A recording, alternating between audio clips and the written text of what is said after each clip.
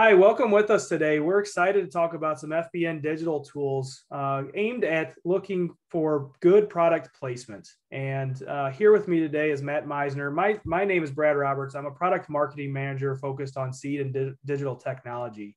Matt, can you give us a little background on yourself? Yeah, for sure. And thanks everyone for joining.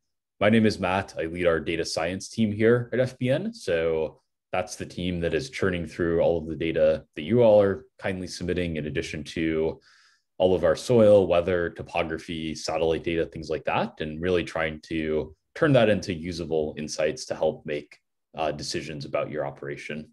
That's great. Thanks, Matt. And I mentioned we're going to talk about product placement today. Um, you know, products really require a little bit of management. You can't just slap on any product to any acre or any field.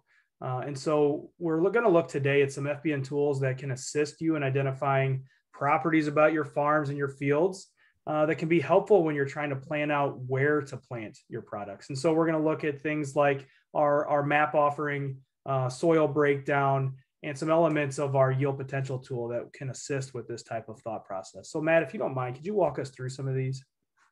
Definitely. So, one of the first things to really consider when thinking about our product placement is, is really understanding field environmental characteristics.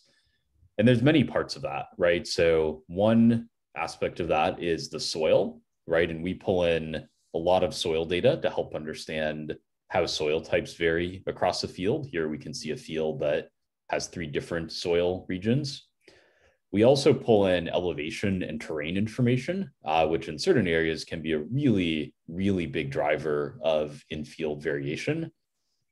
Particularly love the terrain maps, which uh, you know have these these nice color codes to basically indicate areas that are relatively high or low relative to their their neighborhood, right? So that can be really impactful in in in calling out parts of the field that are maybe on a slope or in a gully or someplace where water is likely to accumulate. And as we'll talk about in a second, that has a really big impact on the type of hybrids that you probably want to consider planting um, in that particular part of the field. Yeah, just from a visual nature, man, I, I like this because you know you identifying your soil type, you wouldn't want to put a hybrid on a, a sandy soil that's not going to perform right, or you wouldn't want to put a hybrid uh, or any product on a low area uh, that's going to suck in too much water, potentially drown that product out. You need a product that's going to respond to these type of, of different informations. And so these map layers in and of themselves will help you visually get a feel for where you could place your products. Definitely.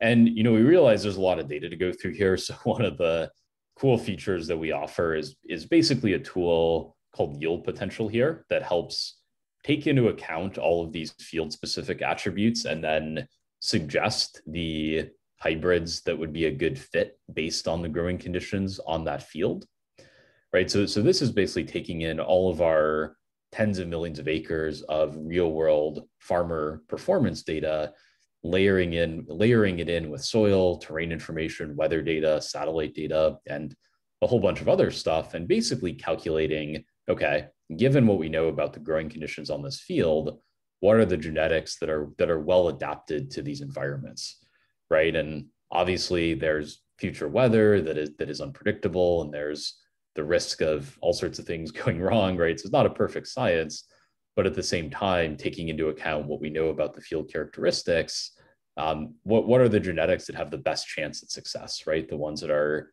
most likely to be drought tolerant if you've got soil that is not likely to hold onto water, right? What are the ones that are most most amenable to to wet soil if, if your soil is one that's going to hold on to water, right? So all of those things have a really big effect on the hybrids that are going to perform the best and yield potential is a really cool way to, to automatically churn through the, these massive data sets and highlight the, the products that are well suited to your, your given field.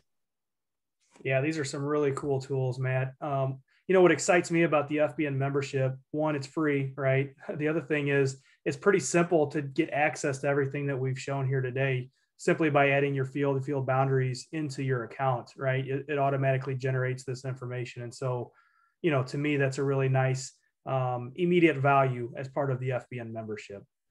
Um, you know, Definitely. I'll just thank everybody for for joining today. Matt, is there any closing remarks that you'd like to offer?